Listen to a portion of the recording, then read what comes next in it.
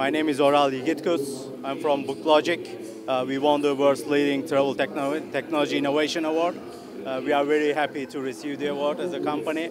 This is our first award from the World Travel Awards, so we are very excited. So, BookLogic, what services do you provide? What service do you offer? The, the company is uh, the company is a hotel and travel technology company offering the travel technology as well as the internet marketing services to boost up the online sales of hotels uh, in their direct bookings and online uh, sales, general sales. So you're here in Morocco picking up an award at the grand final. When you go back and tell your colleagues you've won this award, yeah. what will be their reaction? They will be very surprised. They weren't expecting this.